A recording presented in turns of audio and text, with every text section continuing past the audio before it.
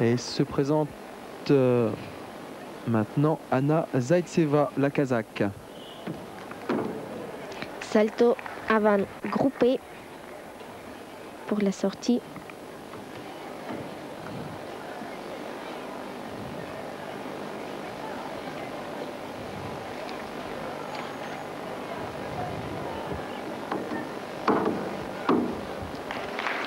La série flip, salto arrière tendu décalé et encore une fois salto arrière tendu décalé.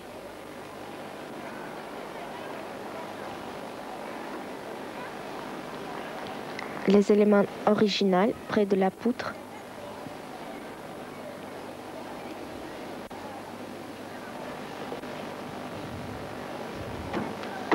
Salto avant groupé.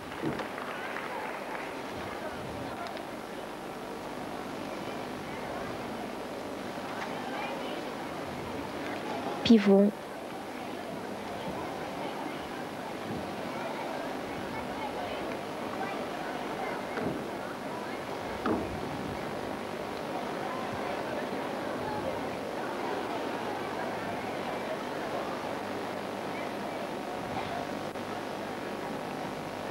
Préparation pour la sortie. Et sortie, Honda double salto arrière groupé. Bon, au niveau de la difficulté, euh, c'était correct, mais elle a fait plusieurs euh, petits déséquilibres. On, précisait hier que si les Kazakhs ont réussi à déplacer une équipe euh, ici à Brisbane, eh bien en revanche, ça n'a pas été possible pour les Ouzbeks avec euh, Oksana Tchousovitina notamment et Rosa Galieva qui sont bien présentes en Australie. Mais malheureusement, la fédération a semble-t-il oublié de les accréditer. Et là, c'était trop tard. Alors elles sont présentes dans le, Palais des Sports, mais elles ont le droit de regarder la compétition du haut des tribunes. C'est vraiment dommage parce que l'équipe euh, d'Ouzbékistan avec Oksana Tchousovitina et Rosa Galieva, ils sont vraiment très forts.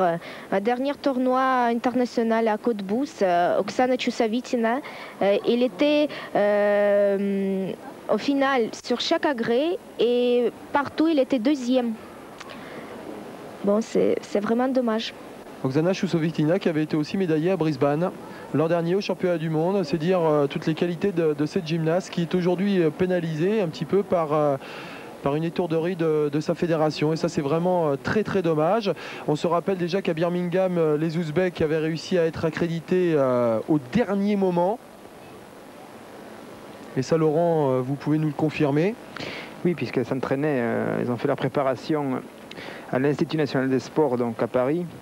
Et elles ont eu beaucoup de difficultés à déjà, d'une part, à rejoindre Birmingham pour les problèmes de visa et donc elles se sont euh, pu s'engager juste au dernier moment. Ça a été vraiment très juste.